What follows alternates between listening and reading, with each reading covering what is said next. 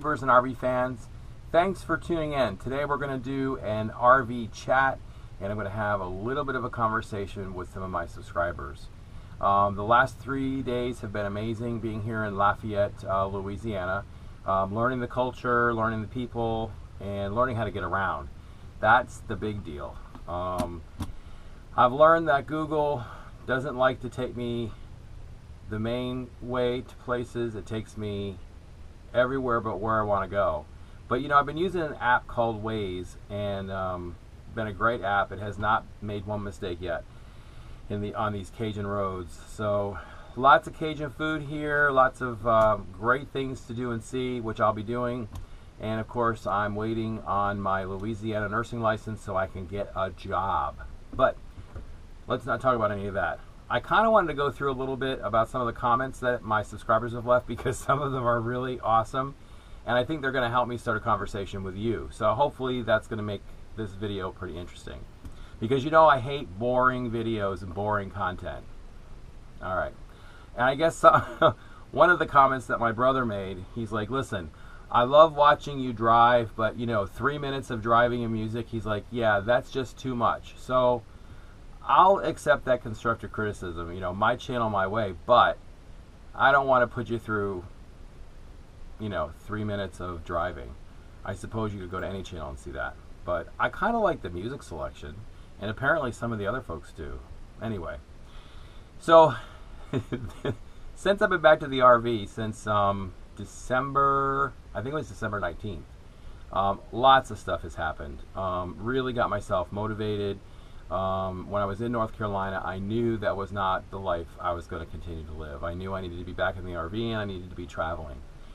So I pretty much committed that I was going to do a lot of different things. And one of the things that I was going to do was really get comfortable behind the wheel.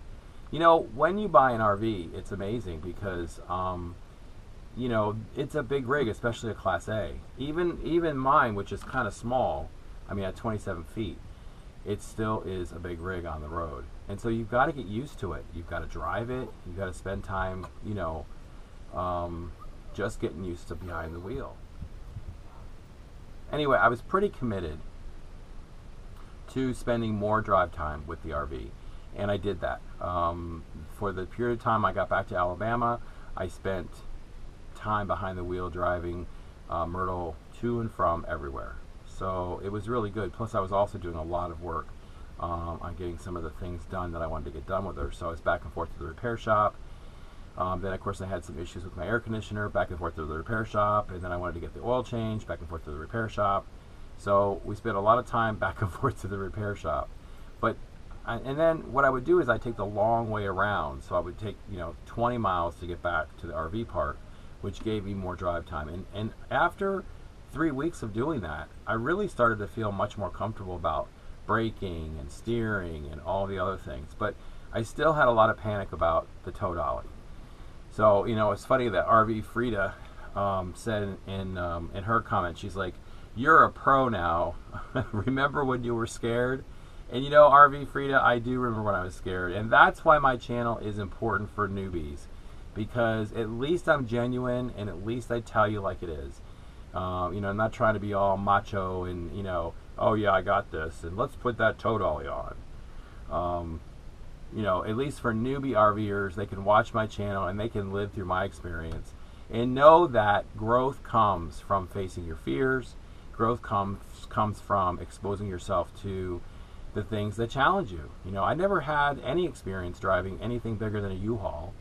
That's the first thing. And the second thing is I've never towed anything in my life. So driving a Class A and towing my car.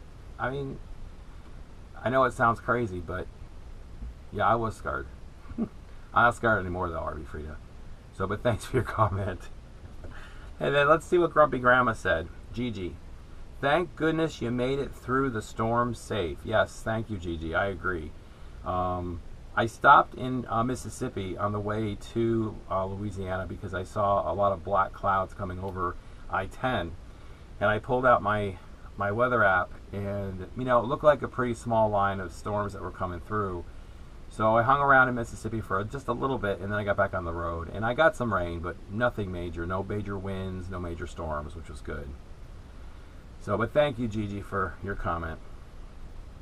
Um, I think driving and weather, uh, you know, of course, is another issue for newbie RVers. You know, um, my suggestion for somebody who's relatively new is, you know, monitor yourself when you're driving. You know, if the weather gets bad, pull over. Pull over to a rest area and wait it out. You've got your house with you, so just pull over, turn on your generator, make yourself a cup of coffee, take a nap, and then get back on the road when it's better. You know, there's no rush unless you're, you know, have a specific timeline, and then you're going to be late. That's just how it goes. Just a little piece of advice for me. Albie Chevis says, Are you staying in Louisiana or is this just a road trip? Um, good to see you so at ease with the road. Thanks, Albie. Um, a lot of people ask me what I'm going to do in Alabama. Well, I'm going to be working here. Um, and that's important. So, and I also want to hang out with my mom and spend some time with her, and also with my friend Shirley, and some other folks that I know here in Louisiana. I may be here six months. I may be here a year. Uh, more than likely, I'll be here six months, seven months. Um, I do have plans on meeting up with um, R and RV Chronicles in Arizona in September. If that doesn't work out, then I'm probably going to go to New Mexico. So I love New Mexico. I think northern New Mexico is beautiful, and I think it's a good place to winter. So we'll see. Uh, if not, then I may head out to Quartzsite and hang out there for a couple months and um, hopefully have some good internet out there. I don't know. We'll see. Uh, but so my, my travel plans are kind of up in the air. I know it's going to be either New Mexico or Arizona. But thanks for the kind words, um, Albie. You know, it's nice to feel like you are a little bit more of a pro again, it comes down to drive time. Uh, for newbie RVers, I think it's really important that you drive the rig until you get comfortable, you know. And don't read all of these blogs and R- I- IRV2 that, you know, and focus on the negative about how terrifying it is to drive. And yeah, anything is terrifying to drive in the beginning, but once you get a handle on it, driving an RV is not any different than driving a big truck, I think. Anyway, let's see. M- Michelle Mike Bradley commented, "Good to see you back on the road." Thanks, Michelle Mike. I appreciate it. It's good to be back on the road. I have to tell you, um, I really have missed living in the RV and being able to go whenever I want to go. She says, um, "What brand or model is your rear camera?" And looking into these wireless cameras, and I know there was a lot of debate about connectivity and accuracy and, and image stabilization and all those different things. But I found the Furrion um, observation um, system, and that's what I have the Furrion observation system. It's a little bit expensive, but at the end of the day, it has great connectivity. Uh, it connects beautiful to my um, wireless monitor, um, and it has strong. It's like a four bar strength. So it was a great decision, and it's helped me to be more mobile. And again, that was the goal when I came back from North Carolina. I needed to be able. All right, on to the next one. All right, on to Brian Kinney. Hey, Brian. Brian says um, that would be a little scary at first, and I think he was referring to uh, towing the car. Yes, Brian, it is. And for everybody else out there who may kind of had a little chuckle when you saw my video about me putting things together with the lady uh, from U-Haul. The lady from U-Haul was a sweetheart, and I just said to her, I said, "Listen, I've never done this. I want to make sure I do it right. You know, I've watched a lot of YouTube videos on it, so I feel pretty proficient." And she was like, "No problem, I'll help you." And um, she didn't even mind being on camera, which was nice because I ask everybody. I don't just arbitrarily go in and say, uh, "You're going to be on camera whether you like it or not." Um, and I said to her, "I said, do you mind being on camera?" She's like, "Oh no, I, I don't mind being a movie star." so she was she was a sweet lady anyway, so yeah, Mike, it was a little scary. It's a very, a very nice lady that helped you. Yes, she was. I'm sure you checked all the requirements for towing your car.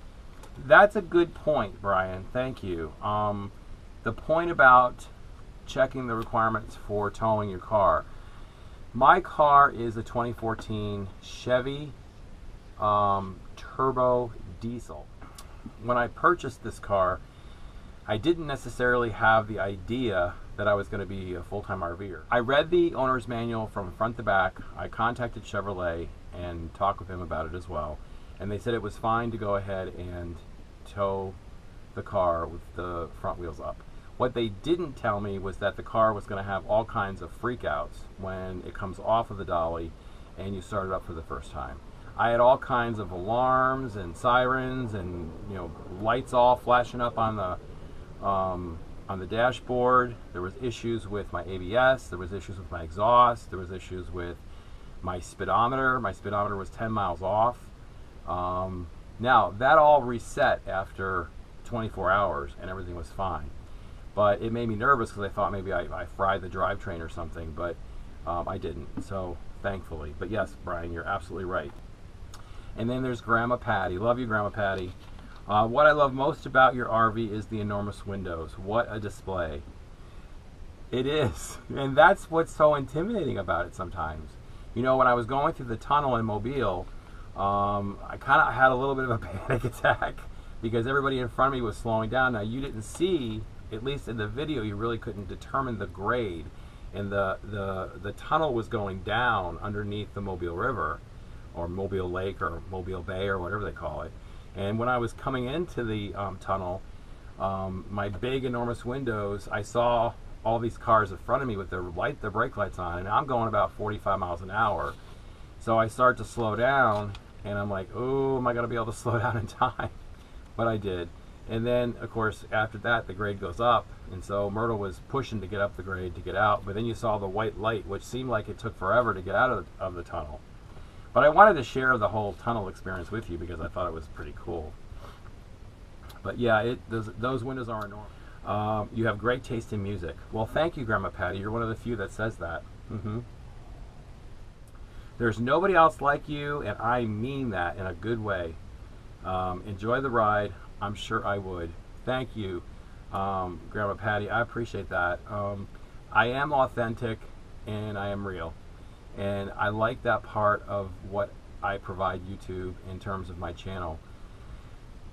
I think sometimes it's real easy to get behind a camera and edit this and edit that and whatnot. And I do a lot of editing. I mean, don't get me wrong, I spend hours editing videos. And sometimes, you know, you, you ask yourself, is it really worth it to do that? But I enjoy it. It's, it's, it's something that gives me the opportunity to make a contribution to the RV community.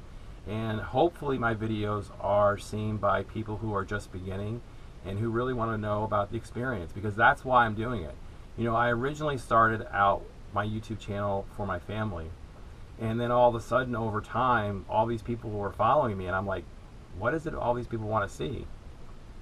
And what I found out was it was a lot of people who want to live the life or who are living the life vicariously through my channel, and I appreciate that, and I have a tremendous amount of respect. And that's the reason why I want the content on my channel to be good because I think that people who are living vicariously through the channel deserve to see things that are engaging, entertaining, um, and also real. You know, nothing contrived and, and, put on. So thank you, Grandma Patty. I appreciate the compliment. You're a sweetheart. And then my new friends, RN RV Chronicles. Now, you know, there's a lot to be said about meeting subscribers uh, on the road. And I had the opportunity to meet to meet RN RV Chronicles, um, Dave and Katie Lesh, um, wonderful, wonderful people. And we had a great two days together. They were heading from Arizona to Florida because Katie's a travel nurse and Katie is taking a contract in Florida and she'll be there for a little while. And then once she's done with that contract, evidently they're going up north to visit family. And then sometime in September, I think they're going to be back in Arizona. So I'm hoping to meet up with them there and do a travel contract with them as well. So um, RNRV Chronicle says, Love the new intro. Thank you guys. I appreciate it. Be safe and have fun no matter what happens. That's a big deal. Let's talk about that. Be safe and have fun no matter what happens. You know, a lot of times for newbie RVers, there's all this um, worry that goes on about, you know, breaking down on the road, uh, any number of things that can go on. And I'm not immune to that as well. You know, I don't have a magic pill for that. I think the thing that's most important for somebody who's a new RVer is to understand that you're working with a machine. You know, it's an RV, it's a machine. Whether you're pulling um, a travel trailer, whether you're driving a Class C, whether you're driving a Class A, a B plus, or a van in the van life, breakdowns are going to happen. It's not about you know if, it's about when. And I think the biggest thing is that you have to be proactive in making sure that you do everything you can in your preventative maintenance to keep your rig in top shape. Now, when I bought Myrtle, she had been neglected, and so I spent a lot of time and money in the beginning um, fixing a lot of different things. My dad and I spent a lot of time. So if you've been a subscriber for a while, you may have seen the different things that we've done. Um, what comes to mind specifically is when I first brought Myrtle home and noticed that there was a bunch of red fluid leaking out of the out of the front. Having no clue what it was, I brought it into the service shop and spent two thousand dollars getting um, the uh, oil compressor unit, whatever the hell that is, fixed. And um, and they did a nice job because it did get fixed. And but then I noticed that I had leaks and realized that uh, what was happening is uh, when the oil was changed, some of the oil splashed up into the cross pan um, that goes from axle to axle, and it was just leaking out. But I saw leaks, and so my dad and I would get underneath there and we would look. We looked at the engine, we pulled the doghouse off, we did so many different things to find out where those leaks were coming from. And then one day I just went under there and I cleaned, I cleaned that that connector piece, and the leak stopped. So it was residual oil. Um, did some other repairs, repaired the the, um, the fuel pump. Um, after the RV died on me in the middle of the street, uh, having a panic attack, wondering, oh my God, how am I going to move this 19,000 pound RV out of the road? But you don't. You just deal with it. I was able to get Myrtle started and pulled over into a bank parking lot, and then was able to get her back to the service center where they had to replace the uh, fuel pump. You know, there's a lot of things that are going to go wrong, and I think the biggest thing is this anticipating um, and being pro- proactive in your preventative maintenance. So, you know, when Dave says, um, be safe and have fun no matter what happens, that's related to my comments to him of how I white knuckled it coming up from Florida to Alabama. Now, it took me three days to get to Alabama because I stopped at a couple state, um, a couple state parks, visited with some family, but the entire way I was white knuckling it all the way here because I had this horrible um, feeling that impending doom was going to happen. Something was going to happen in the middle of the street, you know, in the middle of the highway, breaking down.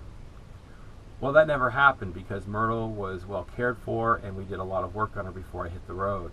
I did the same thing when I got back to Alabama after being in North Carolina. I spent a lot of time making sure that mechanically she was sound and driving her around. And so I think what, what Dave means is, you know, no matter what happens, have fun, enjoy it. This is the adventure. There's good, there's bad, and there's the ugly associated with being an RVer. And I think the ugly is that breaking down on the side of the road. And I don't think any of us want that to happen. But when it does happen, you need to have a plan B. I learned that from my other friend Mike, who came to visit me the week before um, our RN RV Chronicles came to visit and he's driving this enormous 40 um, foot rig with a tandem tow. And the minute he takes off from Jacksonville, within a half an hour or 100 miles, he gets a DEF alarm going off on his diesel RV. And he said, You know what? You just deal with it. And he drove it to the Cummins dealer and had it fixed. Um, and I think that's what you have to think about. So no matter what happens, enjoy the light, enjoy the ride. And I have to tell you guys, I did enjoy the ride from Alabama to Louisiana, I didn't have a white knuckle experience. Um, I enjoyed, you know, driving Myrtle. I enjoyed the to revel in my own success that I'm able to tow my car. That I didn't have to inconvenience anybody to go back to Alabama to pick up my car, and so it was very nice. So, thanks so much, RNRV Chronicles. And then Catherine Cook says, I miss that music so much, and I know she's referring to my intro music. For those of you who've been subscribers to my channel for a while, and I've said this before, um, I had this upbeat, whimsical um, intro music, and for a while I took that music off and replaced it with some other music. So a lot of my original subscribers are saying, "Oh, I really like that music." So thanks so much. I'm going to keep it. I think. And then she said, "Love the tunnels. Um, could you film Kit while driving?" No, Catherine, I can't, I can't film Kit while driving. I'm a solo RVer, so filming Kit while driving is going to be challenging. I will tell you, though, what happens with Kit when um, she goes through this process when we begin to hit the road. First of all, when I start the RV up, she does not like the motor. And it takes her probably about an hour to get used to the motor. Obviously, within an hour, I'm usually moving by that point. And because of the way Kit was raised, she lived in her crate 24 7, I think. I don't know for sure, but I think she did.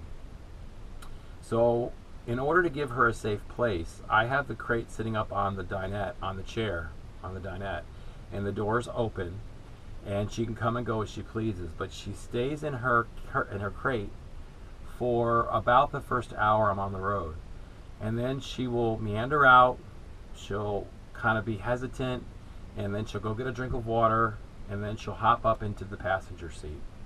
And um, true to form, when we were driving to Louisiana, she did that. She hopped up into the passenger seat. Now I don't know if you've noticed in the in the video, but there was a yellow towel on the windshield, that uh, on the dashboard, and that yellow towel was for her, so that when she lay down, she'd have something comfortable to lay on. Um, and so sometimes, if she's feeling really safe, she'll get up on the on the dashboard and she'll lay there. Um, most of the time, though, she just sits in the passenger side and falls asleep. Now, I could film that, and I will do my best the next time I'm on the road to do that for you so that um, she is on video. Um, but it's tough to film while driving, so um, because I usually keep both hands on the steering wheel when I'm driving this big, massive RV. Okay. But thank you very much, Catherine. I appreciate your comments. And Kit loves you too. Camping with the Kellys. Looks like a nice park. You know, the park I'm here in Lafayette is beautiful. Um, very nice people. The place is enormous when I'm coming from Alabama. Um, you know, the sites are beautifully level. In fact, um, Myrtle is wonderfully level, and I didn't have a problem leveling her at all. Normally, when I level her and then I put the slide out, the rig will tilt on the slide, so I have to uh, compensate that. Here, I just elevated the two wheels up and I pulled the slide out, and I'm still nice and level. So yes, it is a very nice park. And thanks so much, guys, for watching the videos and hanging out with me. Let's see, Mike Gondek, he says, You drove the rig like a pro. Proud of you, bud. Thanks, Mike. A lot of that's because of you and um, and some of the things that Dave said from RNRV Chronicles. You guys really uh, kicked me in the butt, so I appreciate that. It kind of made things a lot easier for me. Moon Maiden NYC. Hey, Vivi. She says, Thanks, Patrick, for taking me on that lovely ride. Glad you made it safely to Louisiana. Safe travels. Thanks, Moon Maiden. I appreciate it, Vivi. It's always great to have your comments on my channel. Gene Decker said, Is there an app or something one can check to see if there are storms in the area you are going? I worry about coming across the tornado traveling across country. Me too. Me too, Gene. Um, I use My Radar and um, that has been a super app. It's free. Um, I believe it's free. I know it's free for I- iPhones, and I know it's. I believe it's free for Google Play. So I would definitely encourage you to download the app. It worked very well for me coming from Alabama to Louisiana, and it worked very well for me coming from Florida up to Alabama. So uh, I would definitely recommend that app very much. My friends, RV Adventure TV, Kim and Daryl. Way to go, Patrick. Did I hear a little scream when you went through the tunnel in Mobile? You did great. I'm like, yeah. You probably heard me muttering a little scream like a girl as I was going through the tunnel. But uh, no, it was fine. Um, stop the madness, start the adventure. So glad to have you guys on my channel. and I'm hoping gonna hoping to come see you guys pretty soon. And then RV Daydream. So glad uh, to see you traveling again and with a much needed tow dolly. Great video. Thanks so much. I appreciate that. Uh, that's really important to, for me to hear. It's nice to be traveling again. I have to tell you, uh, I felt like a caged rat in North Carolina, and I'm so happy to have my freedom back and to uh, to be out here with y'all. Those are the comments. Um, that was the conversation. So much more to say. I want to talk about my reflection of a year being on the road all that I've done um, in my mind and all that I've done in terms of growth. And that'll be another video. thanks so much for hanging out with me. And for my new subscribers, it's great to have you on board. I hope you've had the opportunity to go back and take a look at the origins of the paddy wagon and how this whole adventure started. Uh, if not, I would encourage you to do that. Um, and for my uh, longtime diehards, thank you guys so much for hanging in there. The channel's been kind of flip flopping up and down, up and down. Um, so I'm not quite sure why that is. But if you have some suggestions of videos that you'd like to see, please put them in the comments. All right, guys, thanks so much for hanging out and having a conversation with me today. Have a great day.